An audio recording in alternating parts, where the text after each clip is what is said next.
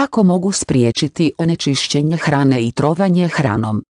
Postoji niz različitih načina na koje možete spriječiti kontaminaciju hrane i trovanje hranom ovisno o tome pripremate li hranu ili naručujete hranu u restoranu.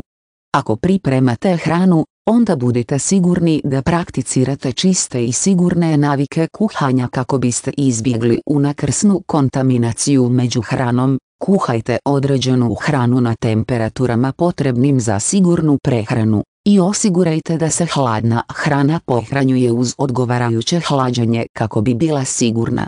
Da biste izbjegli kontaminaciju hrane i trovanje hranom dok jedete, trebali biste pažljivo birati restorane, pravilno naručivati hranu i jedite samo hranu koja se poslužuje na siguran način.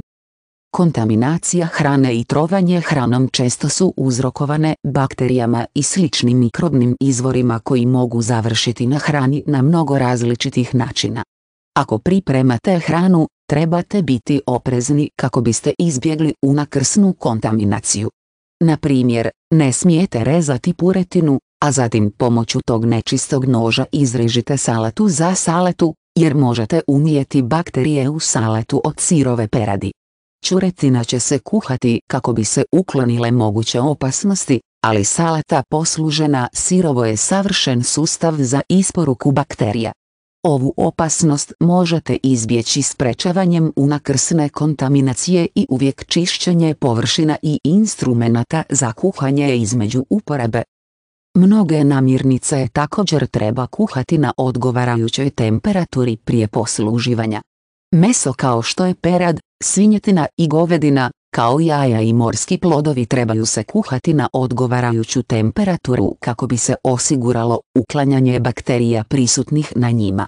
Hrana koja se poslužuje hladna treba biti dobro ohlađena na niskoj temperaturi kako bi se spriječilo razvijanje bakterija i njihovo napredovanje. To je osobito važno za jela poput calete od jaja ili šunke, u kojoj majonezu i ostale sastojke treba hladiti prije posluživanja. Kontaminacija hrane i trovanje hranom također treba uzeti u obzir kad god večerate u restoranu. Morate biti sigurni da pažljivo odaberete restorane, a možda ćete htjeti pogledati najnovije zdravstvene preglede za restoran prije objedovanja u njemu. Čak i ako je restoran prošao inspekciju, ipak biste trebali biti oprezni i napustiti ako vidite naznake nehigijenskih uvjeta. Dok naručujete hranu u restoranu, trebali biste razmotriti i načine izbjegavanja bolesti i hrane.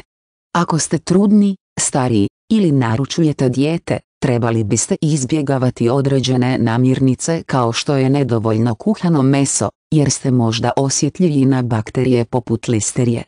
Jela uvijek pripremajte na sigurnu temperaturu i vratite namirnice koje smatrate nedovoljno kuhanim ili nesigurne za konzumaciju.